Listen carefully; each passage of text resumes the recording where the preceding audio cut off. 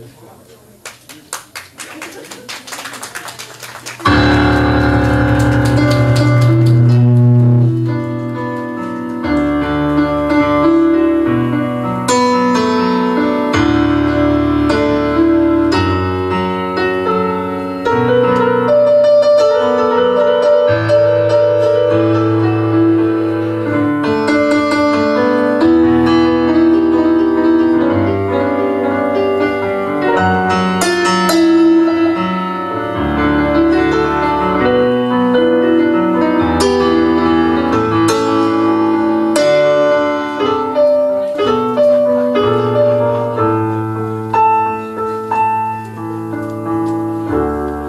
さんこんばんは。こんばんは。本日はオレンジスタジアムのショーケースにお越しくださいまして誠にありがとうございます。本日のセカンドステージ務めさせていただきます。滝尾リアル高崎シティバンドと申します。どうぞよろしくお願いします、えー、初めて新潟の中心市街地に来させていただきましたけれども、えー、その初めての演奏させてもらいに来た今日新潟ナンバーワンのエンターテインメントバンドザ・マンダムズさんとご一緒させていただいて非常に光栄でございます。皆さんもマンダムズさんの演奏をお楽しみいただけましたでしょうか、えー、セカンドステージはそんな、えー、1週間お仕事でお疲れの方もいらっしゃると思いますけれどもそんなさなか新潟の飲食業界の活性化のために今日飲みに繰り出していただいてこの後もどっか行かれるんですか？行かれるんですか？あ、行かないですか？帰りますか？そうですか。じゃあ、こちらでおかわりでドリンク飲んでってくださいね。えー、そんな皆さんの、社会人の純然たる日本のような皆さんのご期待に沿うべく、ミュージシャン一同最後まで1ミリも手を抜くことなく、えー、全力で務めてまいりたいと思います。どうぞよろしくお願いします。It's all because of you. I'm feeling sad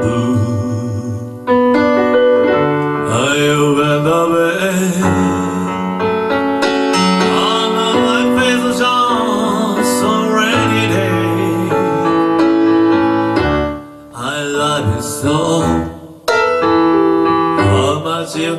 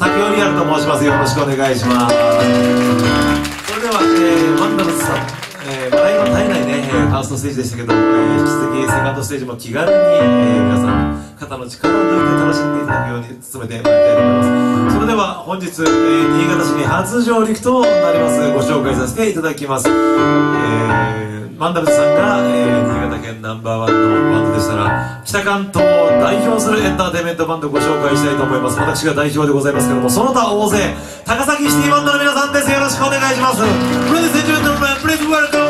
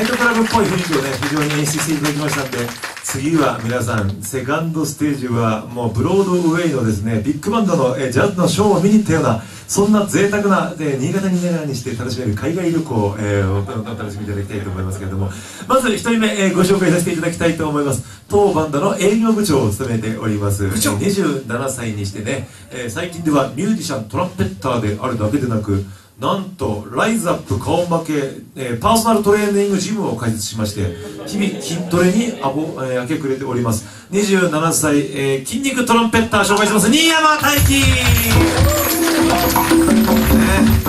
新山君はい新潟やってきましたよ。ついに筋トレ筋トレじゃなかった。ライブで新潟に上陸する時が来ましたけども。ベストボディジャパンというあのボディビルのね1個下の階級の大会先日出まして。群馬大会出たんですけども、群馬大会でね惜しくもね、えー、入賞15位中16位に、えー、入賞16できなかったんでねちょっとその後新潟県民にはないのに新潟県の大会出ようと思ってねなんかやってますけどダメですルーシア、えー、そんな筋肉トランペッ新山君でございますけども、えー、どうですか？初めて新潟来させていただいた気分はいかがでしょうか結構涼しいですね。群馬と比べてやっぱりこういう時は筋トレは何がおすすめですか？筋トレそうですね。有酸素運動です、ね、有酸素運動体を温めるために。そうですね。ということで、えー、筋肉のことだったらトランペットのことね、えー、聞いても面白くない筋肉のことを、えー、おすすめのプロテインそのおすすめのプロテインのことと何でも、えー、新山大輝に。この後ね、えー、皆さん、えー、おかげなさい聞いていただけたらと思います。お待ちしております。よろしくお願いします。それでは、えー、いきたいと思います。トランペッターがバンドにいると必ずリクエストされるこの曲皆さんリクエストされる前にやっていきたいと思います。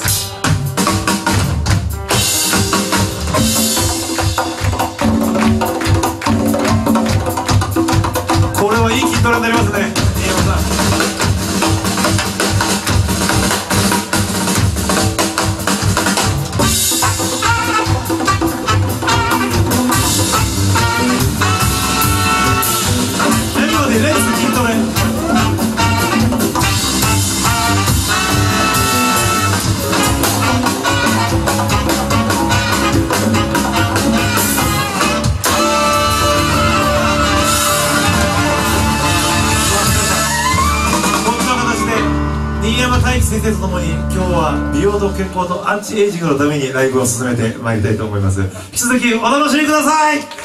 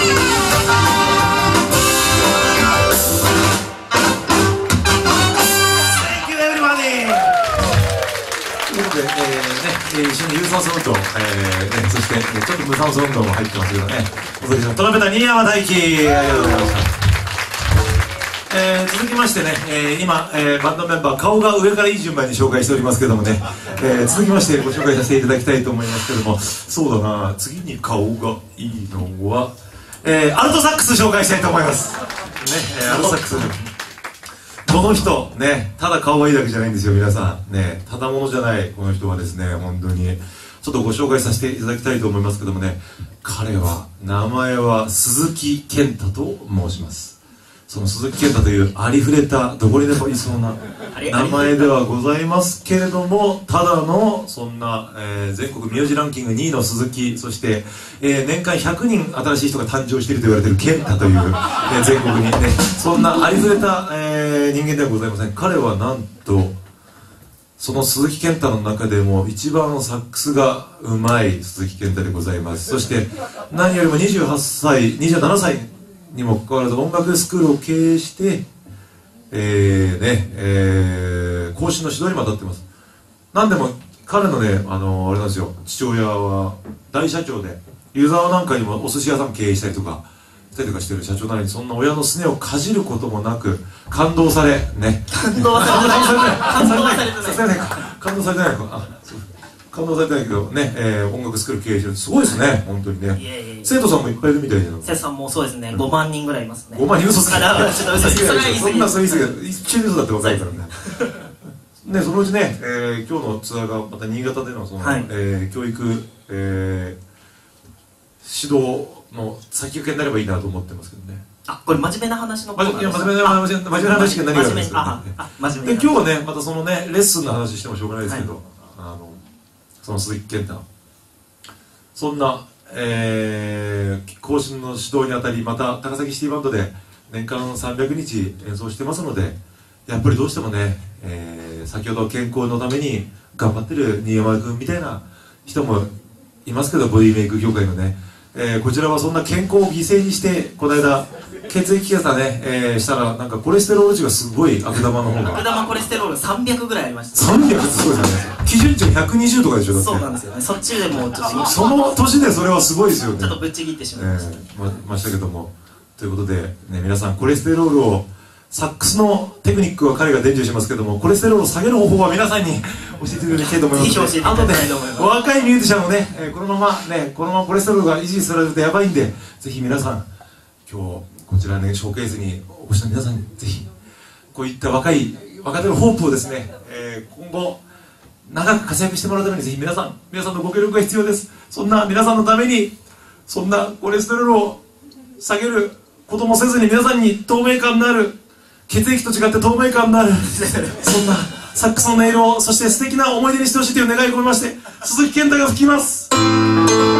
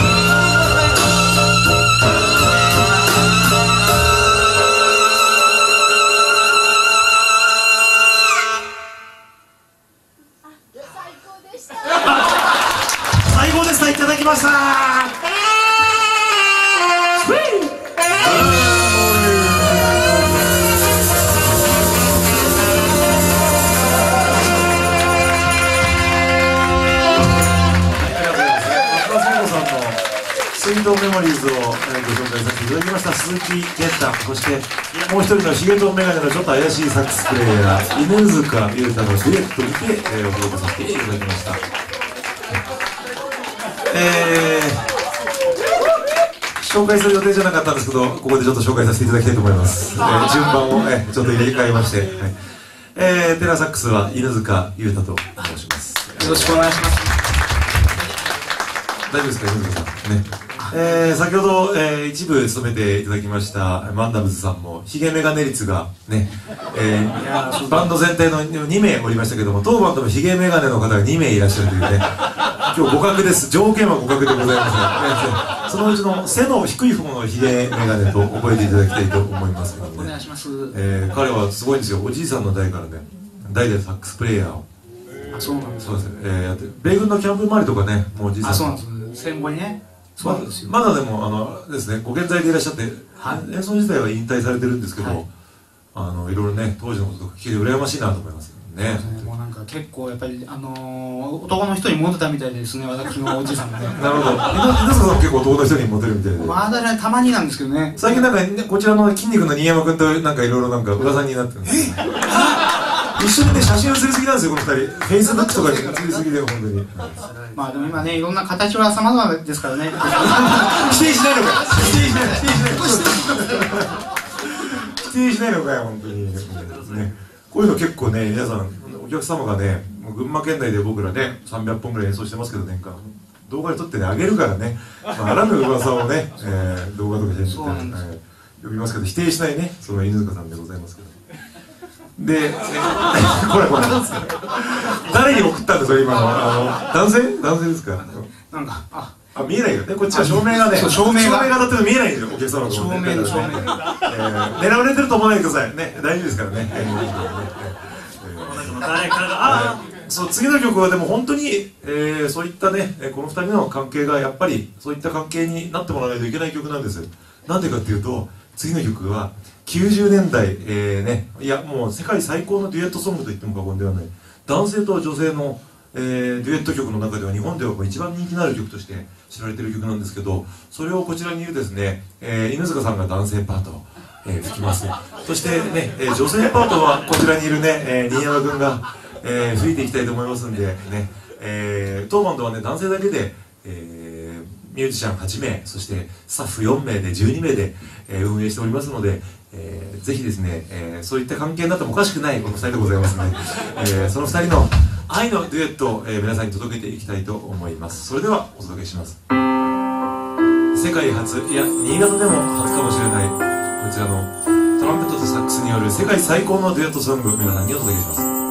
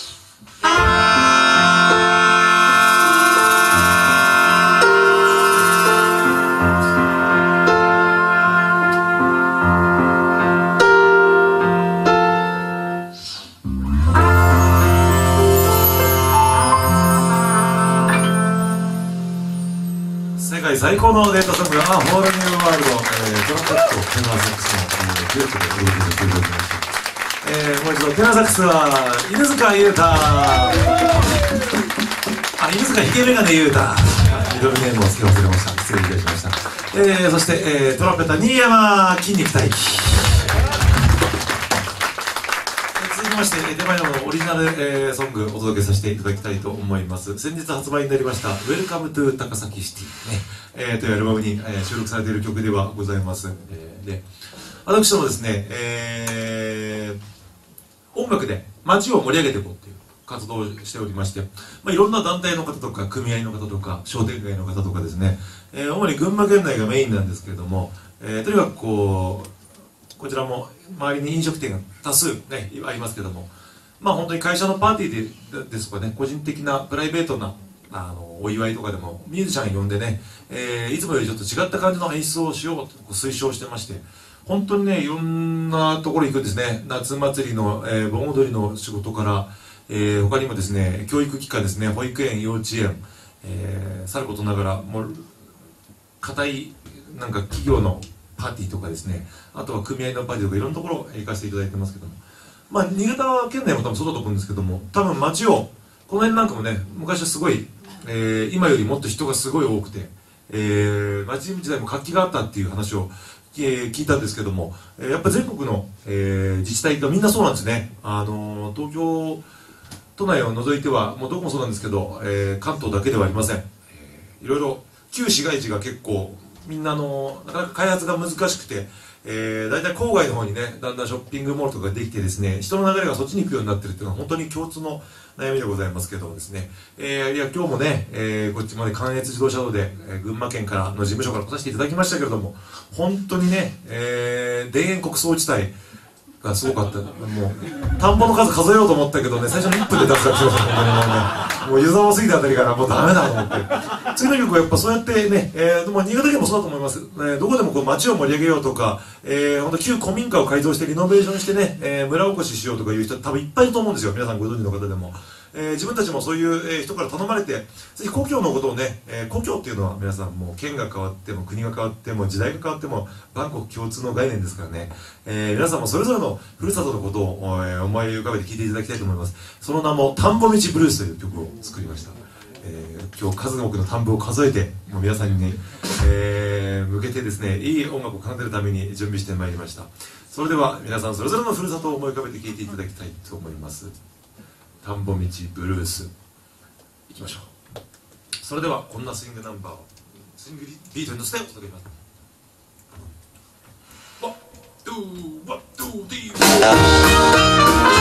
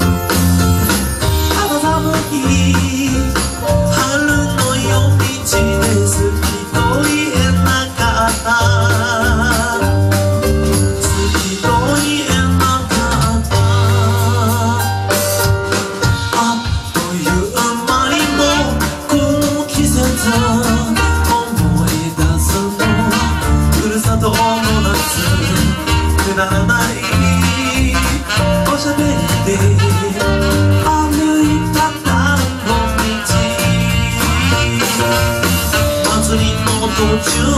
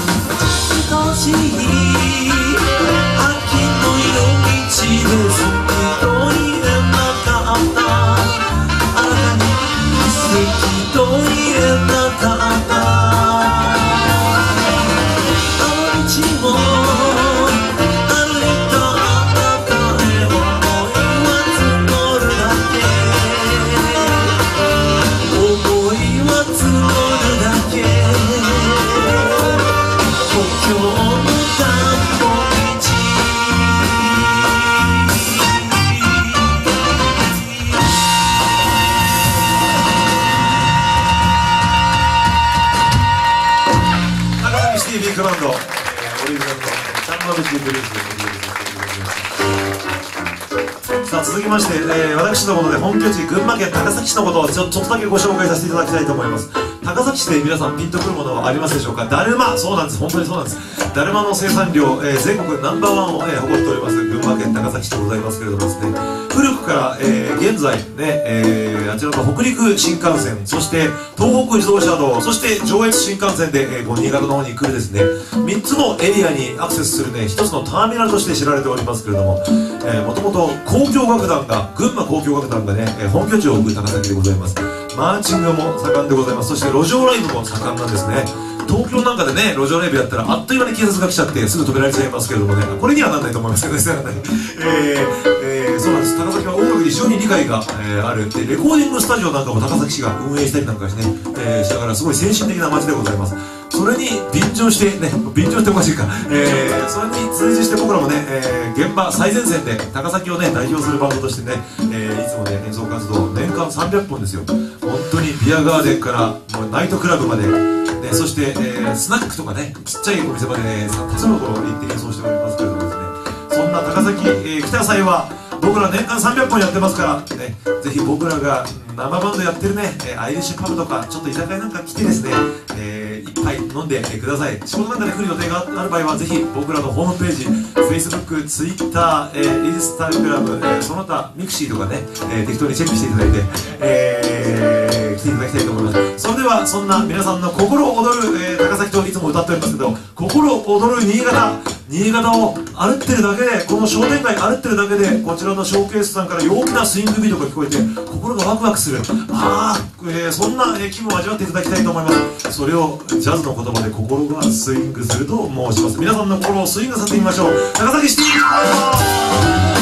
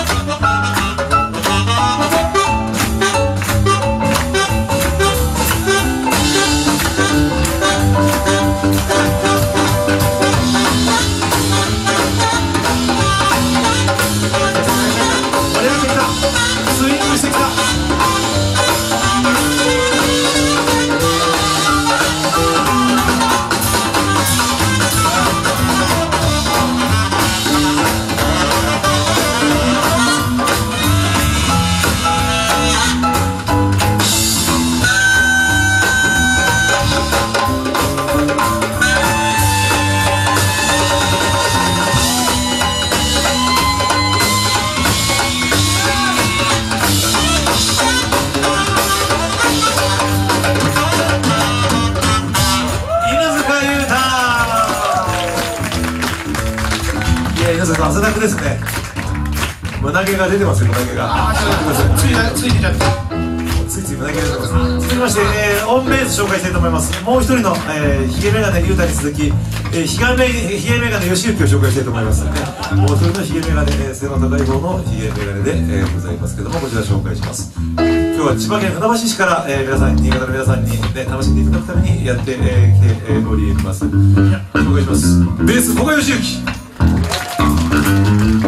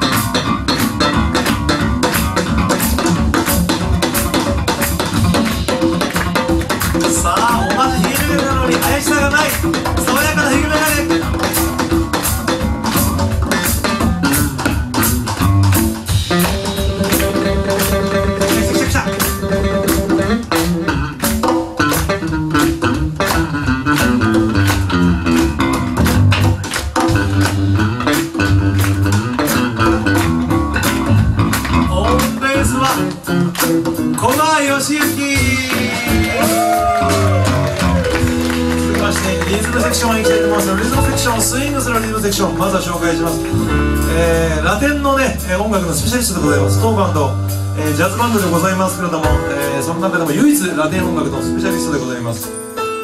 自分ではこのバンドで一番顔がいいと言い張っておりますので皆さんその顔も一つ見てやってください。ラテンの熱い魂が流れているぜ。打楽器、えー担当いたします。当バンドで最高齢のミュージシャン。最長寿か。長老あです。ね最年長。最年長のミュージシャンでございます、対馬周平しゅうちゃん。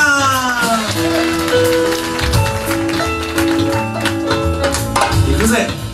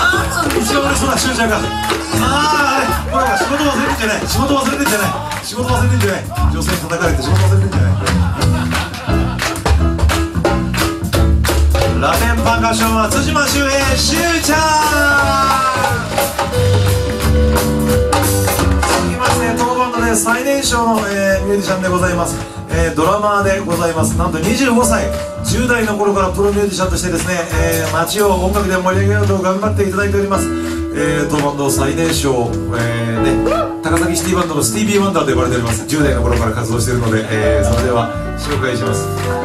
この一番年下のミュージシャンが先輩が寄ってたかってねいじめるんですけどそれにめげずこのドラムという楽器で皆さんに楽しんでいただくように演出していきたいと思います。それではビッグバンド対、えードラムいってみましょうか。ホーンセクション対リズムセクションいってみましょう。まずはゆえに高崎シティビッグバンド対あまず紹介しないとねあの ドラムは佐藤大輝25歳ビッグバンド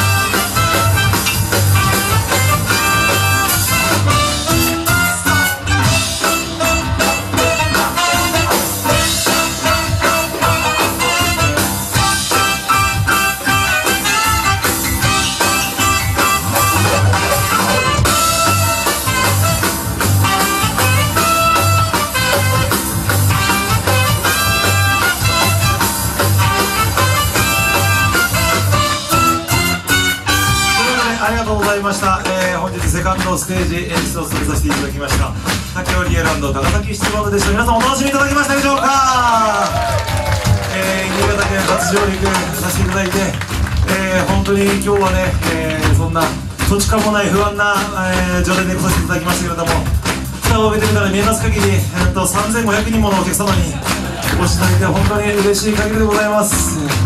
それでは本日はバイオリンのミュージシャンがちょっと来れなかったんですけれども、えフルフル編成にしっかり7名でね来させていただきました、えーバイオリンがちょっと水暴走のため今日はね来てないということでね、えー紹介させていただきたいと思います。トランペット新山大輝。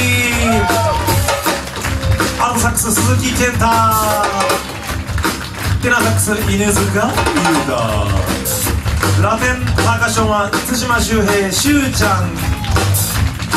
そしてドラムは最年少佐藤大輝オンベースは古賀？義行そして、えー私司会進行を務めさせていただきました代表の竹尾リアルでお送りさせていただきました、えー今日オリジナル曲数曲お届けしましたけれどもそれ、えー収録されております CD が9月に全国発売になりました。ね。えー、Amazon.com、TSUTAYA、HMV、タワーレコード、紀ノ国屋書店とでっかいレコード店には置いてありますけれども、えーそこで買ってしまうと流通を介しているために消費税が加算されておりますけれども今日お買い求めいただくと消費税カーッとの2500円でございますね。ということで、えー皆さん経費の削減のためぜひ、えー今日お買い求めいただける方はよろしくお願い申し上げます。それでは皆さんもう一度一部をお務めいただいたマンダムズさんに大きな拍手をお願いします。ナンバーワン。えーそして、えー私ども、え2部の演奏を務めさせていただきました。竹織エランド高崎シティバンドでした。何よりも皆さんありがとうございます。引き続き皆さんにとって緑の秋になるように願いを込めましてソウルミュージック最後にお届けしてグランドフィナーレにしたいと思います。ありがとうございました。I'm ready 高崎シティビッグバンド Today's グランドフィナーレ。Alright Soul Music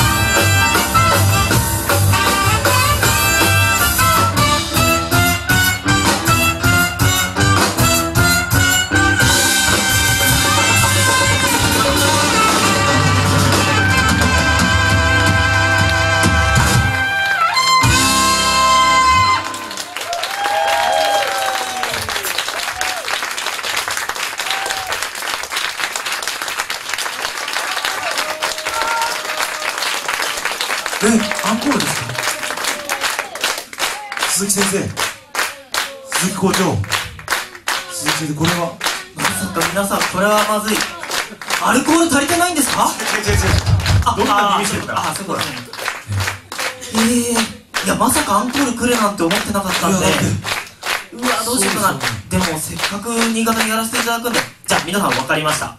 最後にあらかじめ用意してた曲をやらせていただきます。ありがとうございました。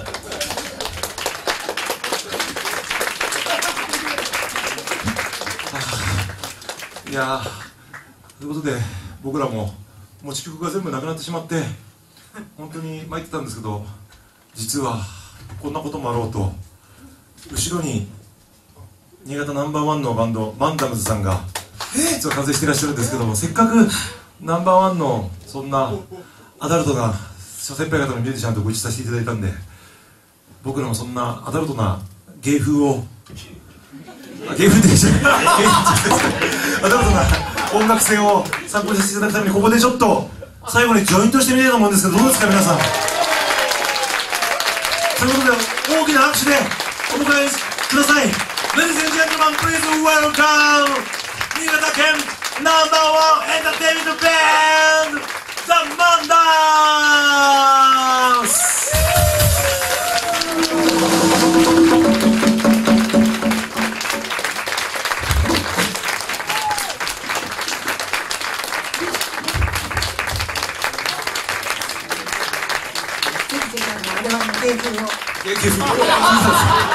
すいませんすいません聞か？れてたバックヤードで聞かれてたどうしようああすごいあこんなそんな逆にこんな綺麗なお姉さんだけど逆にそれに言われると怖い怖い怖いあありがとうございますありがとうございますあの、あの、あの、普段着ですか。普段着。普段着ですか。汗でもうさっきのラスベガス感がなくなってますよねなんかこの東南アジアのなんかちょっと怪しいツアーガイドみたいになってますけどそんな感じイエマンダムスそしてその他大勢あじゃなかった。高崎シティバンド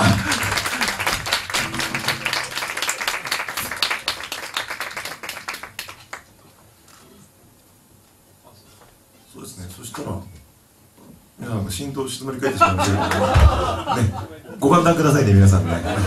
ただいまあのセッションの最後の大グランドフィナーレの、えー準備、えー進めさせていただいております。ねオートバイがあオートバイじゃないスタンバイができましたらですね、えー、間もなく、えー始めさせていただきたいと思います。けどえー改めまして、えー今日はマナコさんご一緒させていただきましてどうもありがとうございました。ありがとうございました。も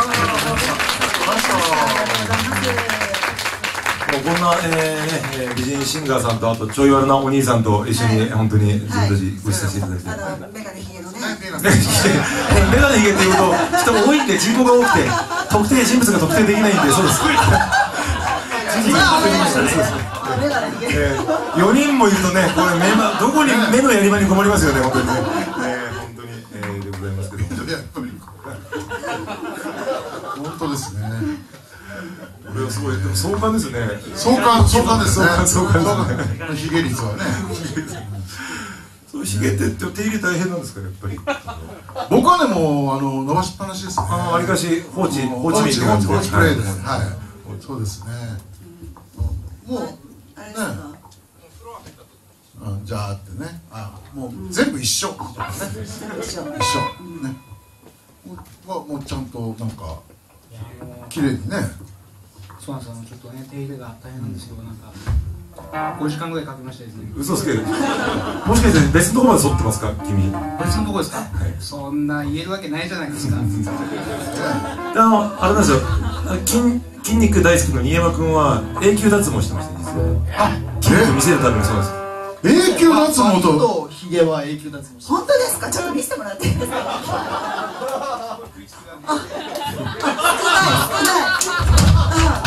い、やあのね永久脱毛といえば、はい。もうね あなたはなんか、はい。ねい。いのよ。あらぬとこ永久脱ろ毛界の巨匠が。巨匠がちょっと。クイーンオブ永久脱毛いいです。永久脱毛族。ね。そう、そういうところは、あの、ちょっと、あの、グレーゾーンです。グレーゾーンだ。グレーゾーンで。オフホワイトな感じそこはだからそこは本当にグレーゾーンにしたまま勘弁してくれ勘弁してくれ勘弁してくれって曲をでは、えー、最後に一緒にお送りしたいと思いまお送りしていきたいと思います。皆さんそれではこの大ビッグバンドの演奏でまるでねラスベガス感がなくなっておりますけれどもまるでラスベガスに行ってビッグバンドのショーみたいな気分を最後に味わっていただきたいと思います。マンダムス and タケオヤロン金崎シティバンド「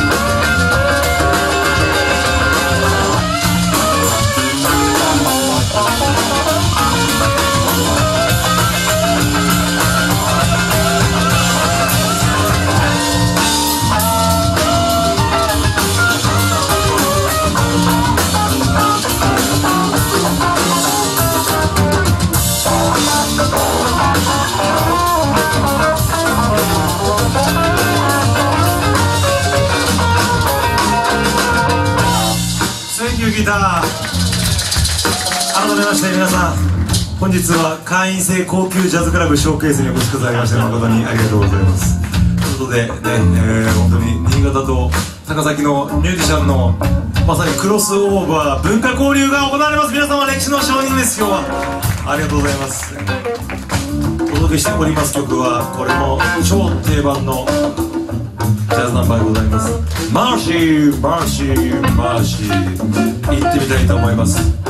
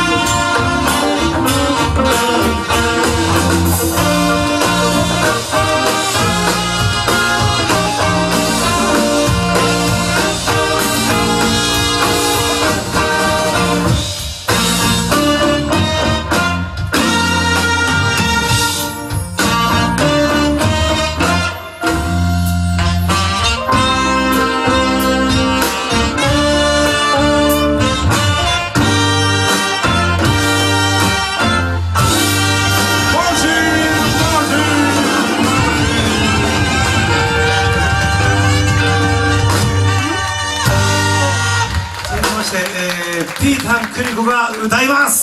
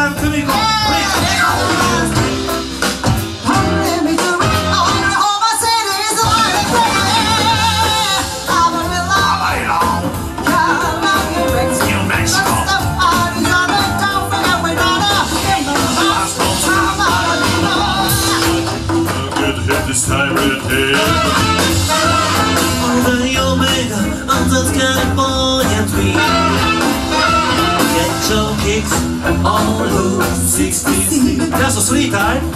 Okay, Georgie's on Route 63. One or two time. Okay, Georgie's on Route 63. Just one more time. Okay, Georgie's on Route 63.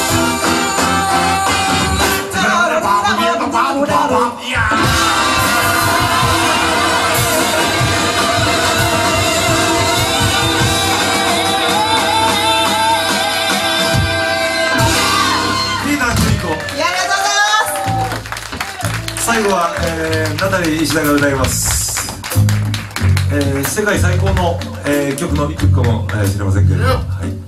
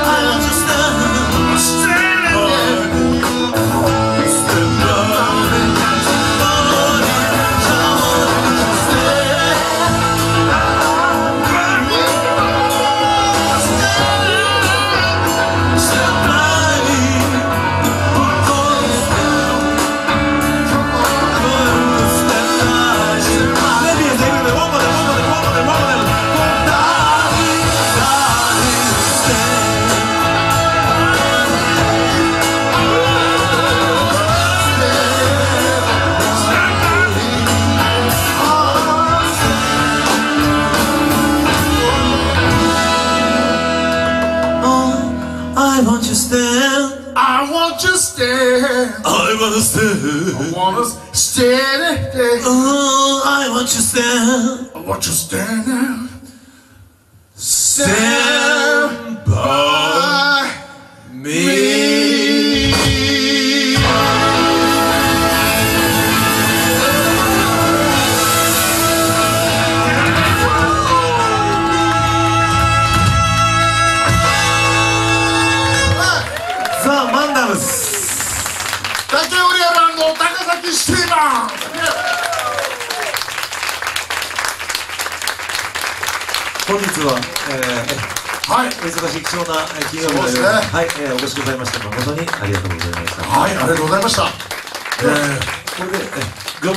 大丈夫ですか？ー業務連絡。逆にどうですか？大丈夫ですあのえっ、ー、と CD ね。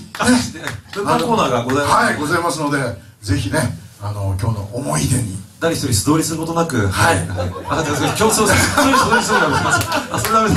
そうです。ね、強制じゃない。強制じゃないけど、でもできれば買ってってほしいかなっていうね。はいあります。今日は本当にありがとうございました。どうも皆さんお気をつけてお帰りください。りがとうございました。僕らも新車に間違わないように気をつけて帰りたいと思います。13日の金曜日ですからね。はい。ありがとうございました。